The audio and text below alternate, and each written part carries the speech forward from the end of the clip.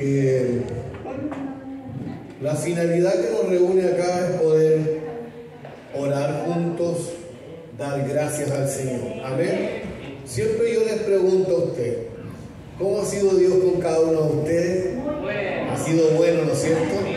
Así que quiero invitarles a que nos pongamos en pie y ya habiendo llegado la hora, ya estamos en punto, vamos a comenzar nuestro servicio y lo haremos en el nombre del Padre, del Hijo y del Espíritu Santo, dando glorias a Dios.